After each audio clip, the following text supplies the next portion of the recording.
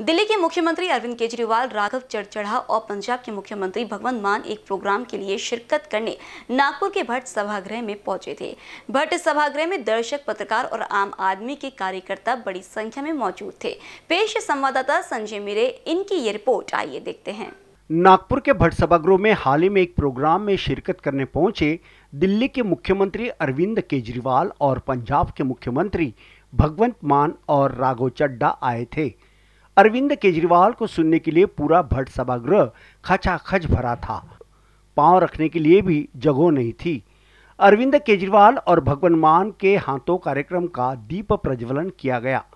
दिल्ली के मुख्यमंत्री अरविंद केजरीवाल और पंजाब के मुख्यमंत्री भगवंत मान और राघव चड्डा इनका मंच पर सम्मान किया गया। अरविंद केजरीवाल का भाषण सुनने के लिए दर्शकों में काफ़ी उत्साह दिखाई दिया।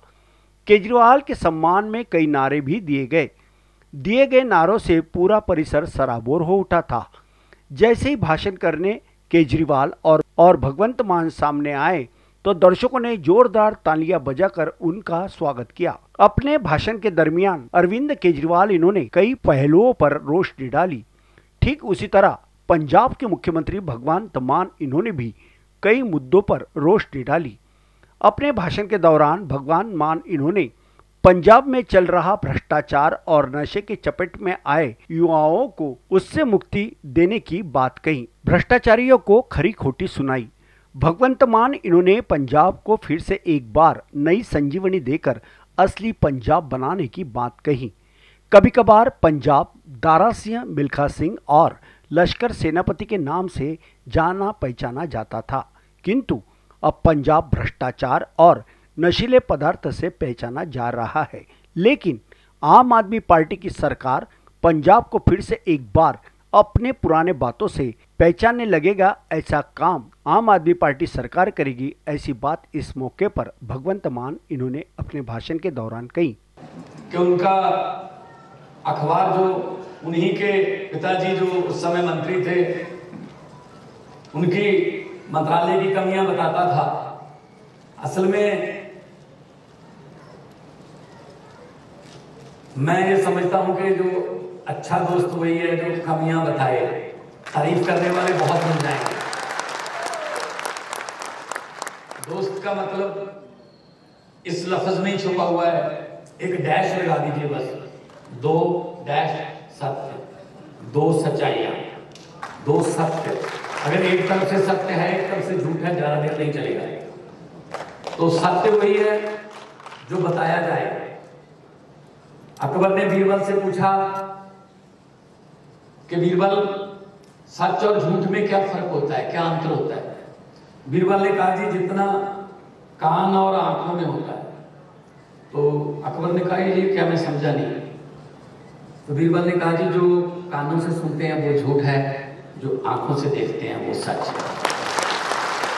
आजकल जगह जगह पे नफरत के बीज बोए जाते हैं तो इंटरनेट बंद करना पड़ता है तो फिर र्यूमर फैलते हैं। वो कानों से सुनते हैं आँखों से नहीं देखते। अफवाहें कानों से फैलती हैं। आँखों से नहीं फैलती। तो अखबारों का ये काम, मीडिया का ये काम है कि वो लोगों को आगाह करे कि ये हो रहा है। वरना आजकल देखते हैं, एक टीवी चैनल ने पंद्रह मिनट का एक शो है, चौबीस घंटे का चैनल है। पंद्रह मिनट का शो शुरू कर रखा है पॉजिटिव खबरें। इसका मतलब तेईस घंटे पैंतालीस मिनट वो नेगेटिव खबरें देते खबरों खबरों में पॉजिटिविटी नेगेटिविटी नहीं होनी चाहिए। खबर तो खबर है। पंजाब के विरोधी पार्टियों के कान खींचते हुए भगवंत मान ने कहा कि पंजाब का इंजन 90 साल का हो चुका था। अपने भाषण के दौरान अरविंद केजरीवाल, इन्होंने कहा कि मैं और मेरे सहयोगी सत्ता पाने के लिए राजकारण में नहीं आए हैं, बल्कि समाज की सेवा करने, जैसे स्कूल, अस्पताल का नया निर्माण करना, जिससे सभी तबके के बच्चे अच्छे से पढ़े और वो भी बिना कोई डोनेशन दिए। उन्होंने आगे ये भी कहा कि मुझे भ्रष्टाचार करना व और धर्म की राजनीति करने कोई भी दंगल करवाना आता नहीं है। मैं सिर्फ़ मेरे देशवासियों को अच्छा जीवन, सुखद जीवन देना चाहता हूँ। हमें चोरी करनी नहीं आती। हमें भ्रष्टाचार करना नहीं आता, हमें राजनीति करनी नहीं आती। हमें गुंडागर्दी करनी नहीं आती, हमें दंगे कराने नहीं आते। हमें नफरत फैलानी नहीं आती। हमें राजनीति करनी नहीं आती, हमें काम करना आता हमें स्कूल अस्पताल बनाने आते हैं। मैं आज इस मंच के ज़रिए आप सबको आमंत्रित करता हूँ। दरदा साहब, आप भी दिल्ली आते हैं, एक बार इस बार चलिएगा, मैं दिखा के लाऊँगा स्कूल, अस्पताल दिल्ली के हमने बनाए हैं। इतने शानदार, पहले दिल्ली में मुझे पता चला महाराष्ट्र में सरकारी स्कूलों का बुरा हाल है कि नहीं है बहुत बुरा हाल है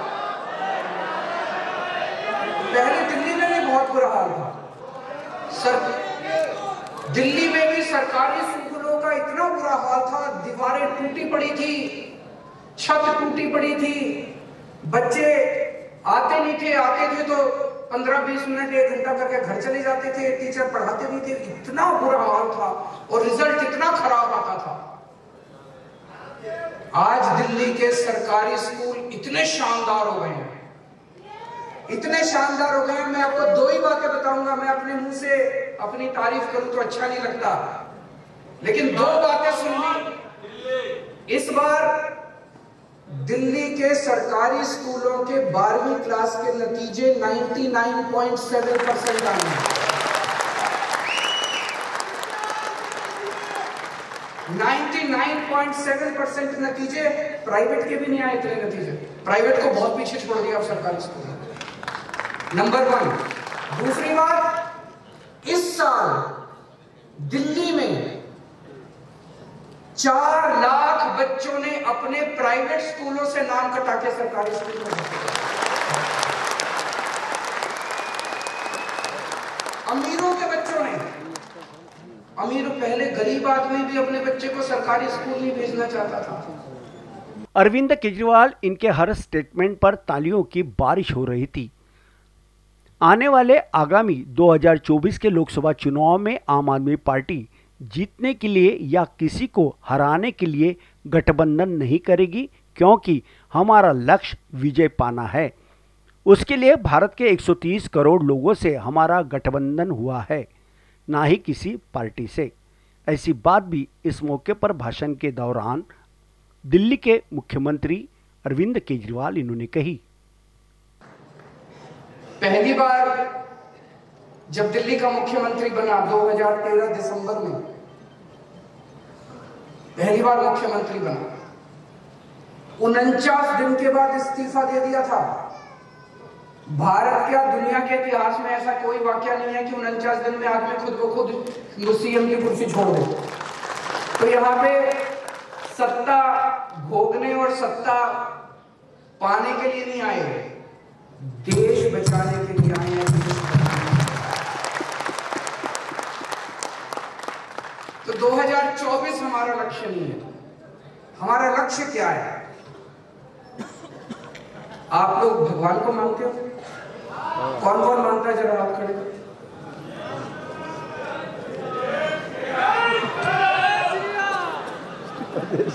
मैं भी मंदिर जाता हूँ। भगवान को मानता हूँ, खूब मानता हूँ। जब भी मंदिर जाता हूँ, कभी तीर्थ स्थान जाता हूँ, कभी सुबह उठ के जब पूजा करता हूँ भगवान की।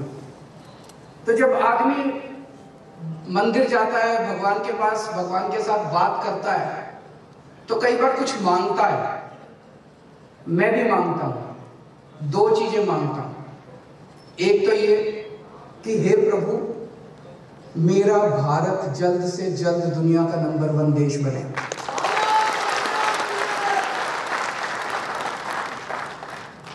और उसे नंबर वन देश बनाने में, जो भी मैं रोल अदा कर सकूँ, मैं वो रोल अदा करूँ। तो 2024 में आम आदमी पार्टी का क्या रोल होगा, वो इंपॉर्टेंट नहीं है।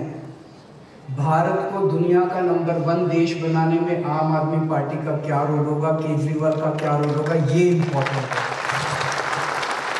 और दूसरी चीज़ मैं भगवान से माँगता हूँ कि हे भगवान, जब तक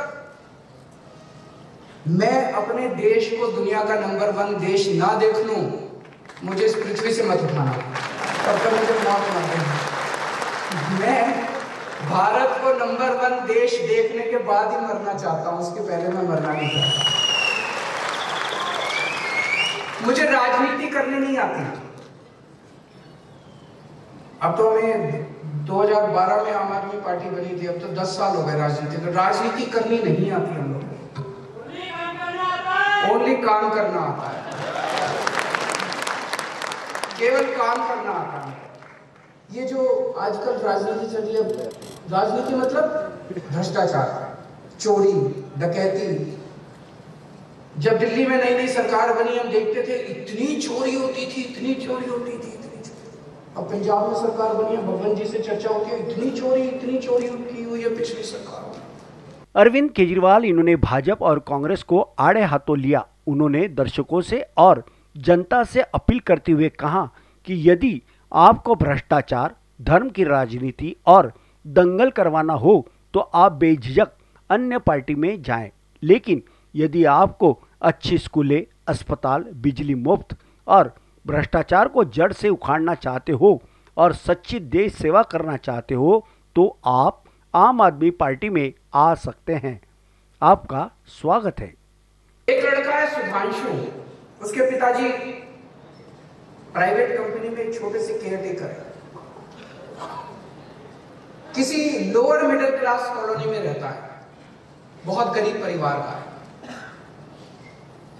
इस बार बारहवीं पास करने के बाद उसका आईआईटी दिल्ली में मैकेनिकल इंजीनियरिंग के अंदर एडमिशन हुआ।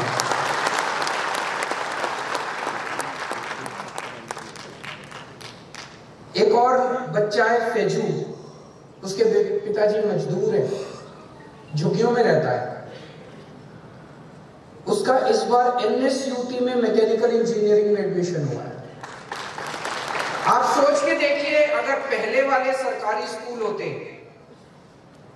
और उनमें ये बच्चे पढ़ रहे होते तो गरीब का बच्चा गरीब ही बनता, मजदूर का बच्चा मजदूर ही बनता केयर टेकर का बच्चा गरीब ही बनता। इन बच्चों का कोई भविष्य नहीं था। 16 लाख बच्चे हमारे सरकारी स्कूलों में पढ़ते हैं।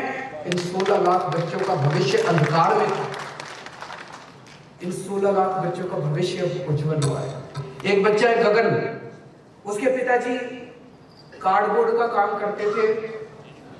कोरोना के टाइम में दो साल पहले मौत हो गई। उसका एडमिशन आईआईटी बीएचयू में इलेक्ट्रॉनिक्स इंजीनियरिंग के अंदर हुआ है।